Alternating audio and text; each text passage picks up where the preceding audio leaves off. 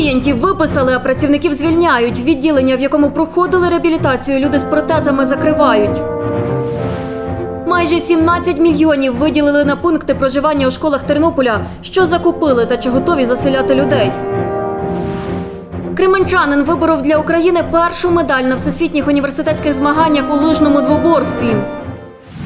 Тернопільське протезно-ортопедичне підприємство надає послуги із протезування. Також тут виготовляють медичні і стоматологічні інструменти та ортопедичне взуття. Воно працює понад 20 років. Стільки ж часу діє стаціонарне відділення, де люди проходять реабілітацію. Із грудня пацієнтів не приймають, розповідає працівниця Олена Петришин. 20 грудня, як нам повідомили, що е, щоб ми звільнялися по згоді двох сторін. Після того зразу 19-го нас повідомили, 20 числа вивезли всіх інвалідів зі стаціонару. Примусово. Примусово. Примусово. Вивезли і, і всіх зразу виписали. Все. А ми ходимо. От для чого? Нас перевели на 48 годин в місяць, зробили нам таке, щоб ми просто самі писали заяву. Ну, що це буде за. І нема інвалідів, просто повиключали нам все. От ми в діті, щоб ми просто відсиділи свої години. І ми не збираємося писати заяву за свій рахунок. Якщо є для того наказ з Києва, як ми Києву підчиняємося, то має бути або скорочення по статті, що ліквідовується стаціонар, і тоді, і тоді нас скорочують. Олена Петришин розповідає, з початком повномасштабної війни реабілітацію у відділенні проходили люди з різних областей України. Не на часі от, закриття стаціонару. Ми один єдиний стаціонар в Тернопільській області. Коли людині привозять цей самий протез і залишають її вдома саму, один на один з тим протезом, вона особливо не може ні рідні, ні вона запам'ятати, як його правильно вдіти, як в ньому ходити. Це треба мати де в ньому ходити. Директор підприємства Юрій Хоміцький показує лист від Міністерства соціальної політики. 12 грудня нам прийшов лист з Міністерства соціальної політики, що бюджетом не передбачено фінансування е, стаціонарів первинного і складного протезування на 2023 рік. Стаціонар розрахований на 12 ліжок, каже директор. За минулий рік реабілітацію тут пройшли 67 осіб. Фінансується відділення із держбюджету. Лікування одного пацієнта у відділенні обходиться державі у майже 37 тисяч гривень, каже Юрій Хоміцький. Держава виділила на утримання стаціонару е, 2 мільйони 470 тисяч гривень. З них зарплата працівників становить 2 мільйони 15 тисяч гривень. Лишається 470 тисяч. Туди входять комунальні послуги, закупівля е, ліків, закупівля медикаментів, е, послуги прання білизни. На даний момент е, держава прийняла таке рішення, що на 23 рік поки що не фінансувати стаціонар. Зараз на підприємстві 52 працівники. Якщо стаціонар закриють, 12 з них втратять роботу. згідно чинного законодавства ми їх мали були попередити за два місяці. То оскільки нам вже лист прийшов 12 грудня, ми їх попередили десь 13 чи 14 грудня. Ну і звичайно е, вже протримуємо людей е, до середини лютого чи скільки, виплативши їй всі, е, всі, всі виплати, які згідно чинного законодавства, ми все забезпечимо, виплатимо зарплату, виплати, відпускні. Ми все це людям виплатимо в повному обсязі. Працівники стаціонарного відділення звернулися до керівництва держави. Ми написали колективне звернення в Офіс президента України. Також ми написали колективне звернення в Міністерство соціальної політики України.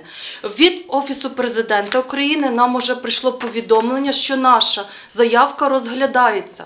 Щодо ситуації, що склалася на підприємстві, ми звернулися за коментарем у Міністерство соціальної політики. Будь ласка, формуйте інформаційний запит, направляйте на нашу електронну адресу, і ми одразу, ну як тільки отримаємо в е, законодавством визначені терміни, надамо вам відповідь. Ми направили інформаційний запит у міністерство. Про результат повідомимо згодом. Лілія Лобр, Оксана Галіяш, Суспільне новини, Тернопіль.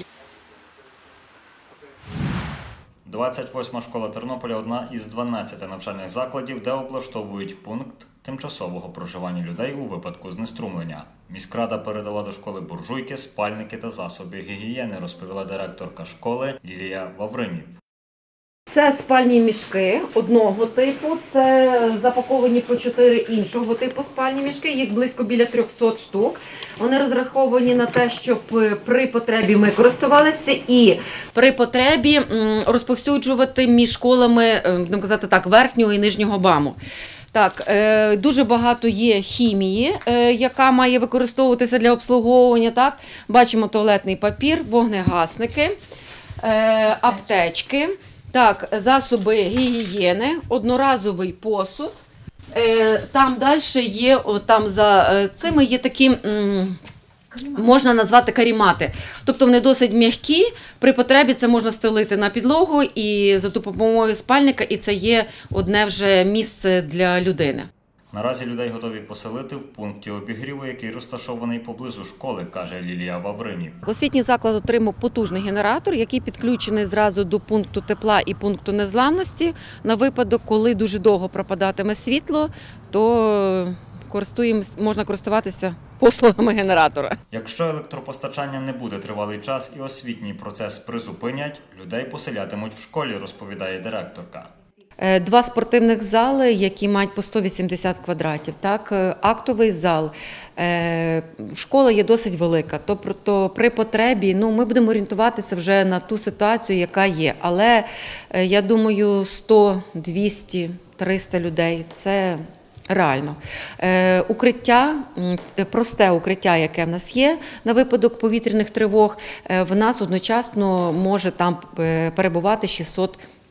Тобто, я думаю, якщо е, десь е, поєднувати, поєднувати ці цифри, то так десь можна з того розрахунку і виходити. Облаштувати тимчасові пункти проживання в школах вирішили на засіданні виконавчого комітету міськради 11 січня. Повідомила заступниця міського голови Тернополя Вікторія Остапчук. За її словами, на це з бюджету громади виділили понад 16 мільйонів 800 тисяч гривень. Тарас Бурак, Василь Панчук, Суспільне новини, Тернопіль. 46-річний Роман Остапів був депутатом Великогаївської сільради. До війни працював заступником директора одного з аграрних підприємств Тернопільщини. На захист країни від окупантів Роман Остапів став одразу в перші тижні повномасштабної війни. Загинув 9 січня під час виконання бойового завдання в Краматорську. Його двоюрідний брат Андрій Дільний каже, служили в одному підрозділі. Андрій був останнім, хто бачив Романа живим перед ракетним ударом. Хороший настрій, ніхто нічого не очікував. Е, Поїхали вони вдвох машиною з Тарасом халявою. Поїхали в Краматорськ і там попала ракета С-300 прямо перед ними. Андрій каже, брат був дуже відповідальним і в житті, і на службі. До всіх поставлених задач е, ставився дуже відповідально, виконував, е, не ухилявся. Веселий, завжди міг підтримати добрим словом, ну, всім, всім, що міг. Займався спортом. Так, не мав шкідливих звичок, е, був дуже веселий. Священнослужителі відправили панахиду в домі печалі, і похоронна процесія вирушила на Миколинецьке кладовище. Сьогодні ми зібрались тут, щоб віддати шану справжньому патріоту України, мужньому рішучому воїну, водію інженерно-технічної роти, групи інженерного забезпечення військової частини А0998, старшому солдату Остапію Роману Богдановичу. Під час проходження військової служби він ніколи не шукав легких шляхів. Зарекомендував себе як відповідальний та наполегливий військовослужбовець. Для побратимів він був прикладом впевненості, безстрашності, рішучості. Вічна пам'ять і слава герою.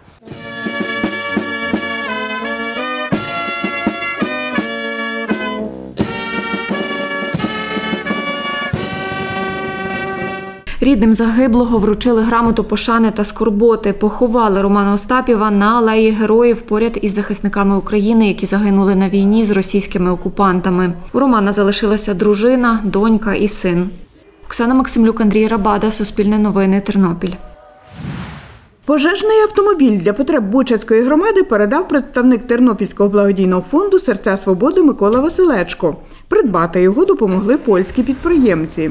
Машина не наїздила багато, моторчик тут новенький був в 16-му році поставлений. Плюс такий, що запчастини завжди можна знайти до нього, так що немає проблем. З Польщі друзі передадуть. Екіпаж сідає, там четверо чоловік, може і п'ятеро сісти, наприклад. Тут один чоловік і водій. Тобто 6-7 чоловік екіпажу виїжджає на, на, на будь-яке боронь Боже, любого там пожару чи любої надзвичайної ситуації. Збірник води також дуже великий. Автомобіль дасть змогу оперативно виїжджати у найвіддаленіші села, каже староста Долібівського старостинського округу Мар'ян Василечко. Бучацькій громаді є три частини розкидані по селах. Це є в селі Зубриці знаходиться машина, старенька, але добра, в селі Зелені та в селі Берем'яни. Ще одна машина для наших сил дуже буде потрібно, тому що громада сильно розтягнута, велика відстань від центру і буде допомагати, щоб часом е, не дай виникнути якоїсь пожежі, щоб е, доїде з центру машина, щоб це вже справлялася з роботою, була на підхваті. За словами керівника 4-го пожежно-рятувального загону Ігоря Михайлюка, торік рятувальники 75 разів виїжджали на гасіння пожеж у Бучацькій громаді. Даний автомобіль буде використовуватися місцевою пожежною командою е, по охороні е, Бучицької громади. Буде організовано чергування круглодобове е, і по виклику, по наданню допомоги буде виїжджати особовий склад. Також даний автомобіль буде залучатися до роботи основного державного пожежно-рятувального підрозділу. Такий пожежний автомобіль вартує близько 300 тисяч гривень, каже речник пожежно-рятувальної служби області Сергій Данілін. Твори на воєнну тематику українських письменників презентували у 18-му випуску літературного журналу Подільська толока. Тут надруковані вірші поетеси з Луганщини Гани Гайворонської. Жінка писала їх, ховаючись від російських обстрілів. Коли почалася війна, я місяць сиділа під обстрілами, під великими обстрілами. Не хотілося дуже покидати свою рідну оселю. Але вже е, окупанти підходили до міста і треба було мені виїжджати. То із червня місяця вже тут, коли я сиділа під обстрілами місяць у Креміній, то я нічого не могла робити, я просто писала вірші. Я писала їх при е, каганці, без світла, без тепла. От свого рідного кота обнімала, грілася, і ми писали вірші. У 18-му випуску Подільської толоки опублікували твори 70 авторів, каже виконувачка обов'язків директора міської бібліотеки Оксана Лехіцька. Над журналом працювали протягом року. В час військового лиході- бачите, лихоліття такої страшної окупації України випустити літературний альманах, де зібрати найкращі літературні е, сили, можливо, області.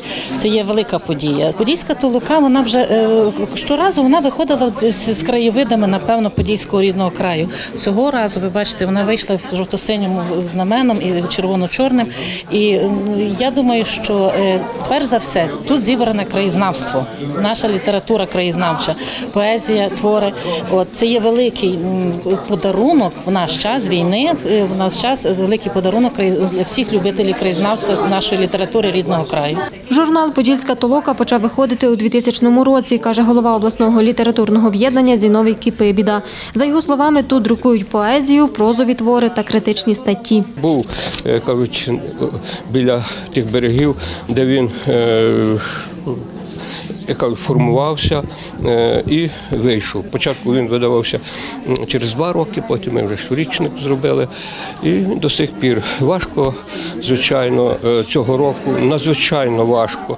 Він все ж таки народився, бо частково оплатили нам люди, е, добрі люди, які розуміються в літературі. Зіновій Кіпебіда розповів, видали журнал за гроші благодійників, тиражем 150 примірників. Людмила Подькалець, Андрій Рабада, Суспільне новини, Тернопіль.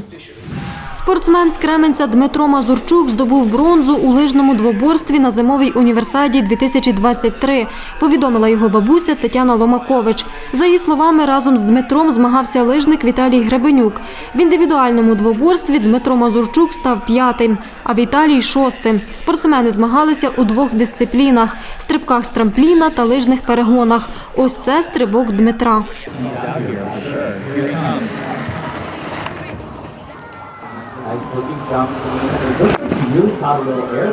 До універсади 2023 Україна не отримувала медалей на всесвітніх університетських змаганнях у лижному двоборстві. І саме Мазурчук та Гребеняк змогли її здобути.